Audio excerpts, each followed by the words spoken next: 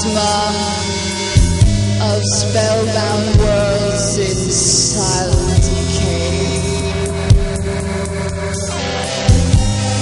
Within this strange dimension,